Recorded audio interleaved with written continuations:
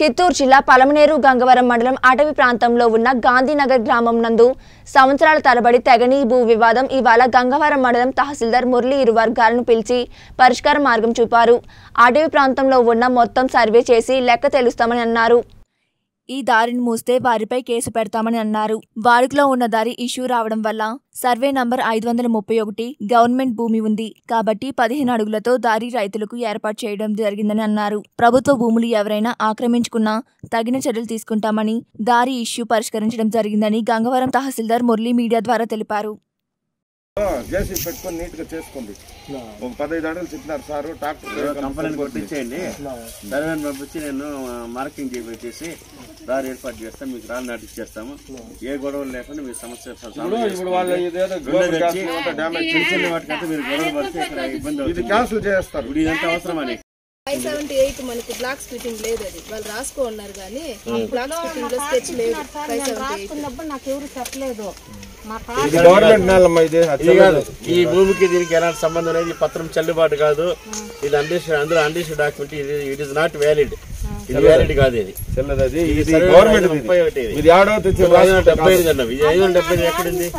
యాడుంది అంటే అది ఫాల్ట్ రాసుకోండి ఫాల్ట్ అది. యాడుందంటే ఇట్లా ఇచ్చిందే ఈరోజు గంగవరం మండలం గాంధీనగర్ గ్రామానికి రావడం జరిగింది. ఇక్కడ ఏమిటి ఇష్యూ ఏమంటే ఇక్కడ మనకు వాళ్ళకి రైతులందరికీ వాళ్ళ యొక్క పట్టా భూములకి దారి సౌకర్యం లేదని చెప్పేసి ఇక్కడ చాలా రోజులు ఒక త్రీ మంత్స్ బ్యాక్ వాళ్ళు అడిగారు. అడిగిన తర్వాత ఇక్కడ రైతులు పక్క పక్క రైతులు వాడుకలో పోతా ఉన్న దారి దారిలో ఇష్యూ దారిలో ఒక ఇష్యూ వచ్చిన దానివల్ల అక్కడ ట్రాక్టర్ పోవడానికి ఇబ్బందికరంగా ఉండదని చెప్పేసి రైతులు ఈ రెండు వైపున ఆక్రమించుకొని రావడం జరిగిందని చెప్పేసి ఇష్యూ వచ్చింది. దీనిపైన ఈరోజు ఇక్కడికి పోలీస్ శాఖ వారి సహకారంతో ఏఎస్ఐ గారితో కలిసి ఇక్కడ మా రెవెన్యూ సిబ్బంది రెవెన్యూ ఇన్స్పెక్టర్స్ సర్వేలు అందరూ కలిసి ఇక్కడ రావడం జరిగింది.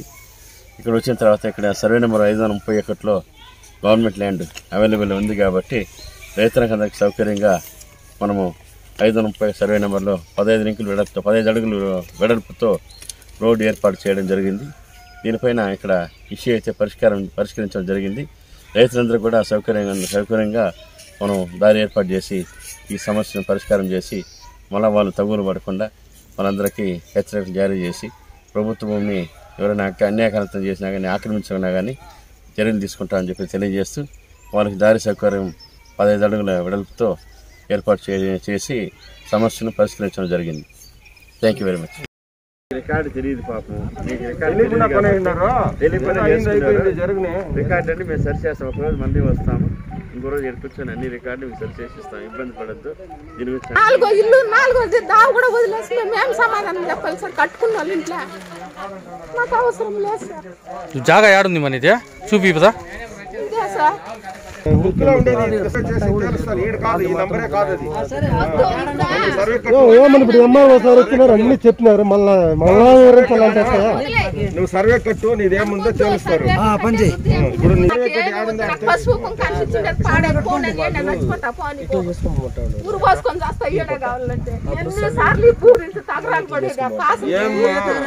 ఇదేమన్నా ఎకరాలు ఎకరాలా? ఆ యాభై సెంట్లకి యాభై సార్లు తిరిగినాను సార్ నీకు దానికంతా ఆ దిగువంతా నీదే కదా నేల? దావు చేస్తే నీకే సౌకర్యం కదా దావు ఉంటే? నువ్వు దారి ఉంటే ఆమె కూడా వద్దని చెప్పేది. ఒకదానికే దారి ఇప్పుడు కట్టుకున్నారు. ఒకదానికి దారి అందరూ కాబట్టి